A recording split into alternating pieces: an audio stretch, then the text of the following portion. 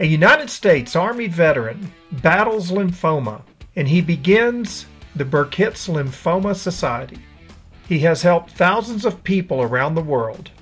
His water well at his home needs rehabilitating and he's running out of water. This is our chance to help someone who has helped thousands of people around the world. Jeff Runyan served in the United States Army for 16 years. His tenure in the service was from the Cold War through the Gulf War, and it included overseas assignments to Alaska and Korea. During his time of service, he was exposed to military specific chemicals and herbicides. Jeff was first diagnosed with a cancer called Burkitt's lymphoma in 2008. This particular cancer happens to stand out because it has the capability of doubling in size every 24 hours. He was diagnosed in 2020 with T cell lymphoma.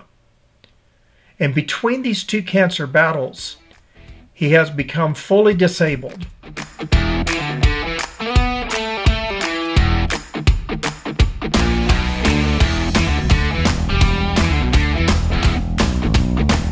So Jeff decided to do something about that. And he formed a group called the Burkitt's Lymphoma Society. And he has a public side to it and a private side. The public side, you know, information about Burkitt's lymphoma. The private side is support and a chance for people such as myself and the caregivers of those who've been impacted by Burkitt's lymphoma to come on there and absolutely pour our hearts out. That's how I got to meet Jeff. I was diagnosed with that in 2008, and Jeff found out the same thing I did. It's a very lonely battle. Jeff revealed a detail in his post. It was a simple post. And one of the details is how much pain he's in with his legs, with neuropathy. And one of the options he has had in the past to deal with this, the recent past, was to fill up the bathtub and soak his legs because they hurt really bad from neuropathy. And in there, he mentioned that um, they're having trouble with fresh running water in their house. They have enough to keep going mostly, but they can't quite fill the tub anymore. And when their well has been running a little on the slow side, they've had some very kind neighbors who helped them out.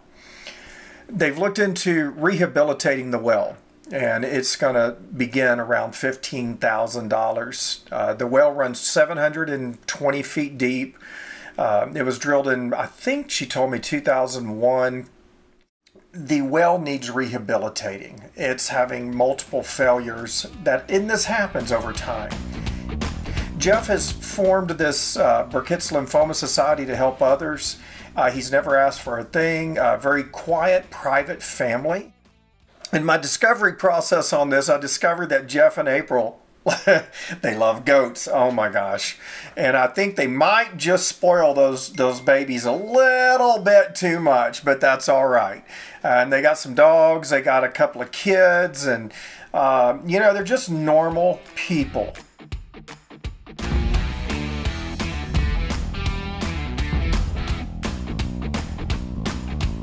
So I'm reaching out to the worldwide military community, the worldwide lymphoma community. We're going to rehabilitate their well. We're going to get them the help that they need to get this going.